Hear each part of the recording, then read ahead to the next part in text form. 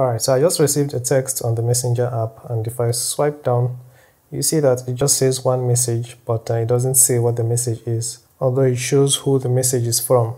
So to hide your Messenger notifications, well all you have to do is just open the app then you tap on this, your profile picture, scroll down and then you tap notifications and sounds and make sure this is disabled. As you can see it is gray so that means it's disabled. So yours may be blue or green just tap on it to change it to gray. And whenever you receive messages on messenger they're going to appear hidden. If you wish to completely hide notifications from the messenger app you head over to your phone settings and then you scroll till you find apps. So you tap on it you tap manage apps and then you look for messenger.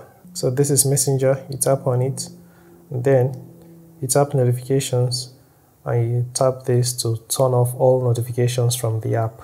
If you do this, you're not going to know if you have new messages, so you always have to go into the app to check if you have messages.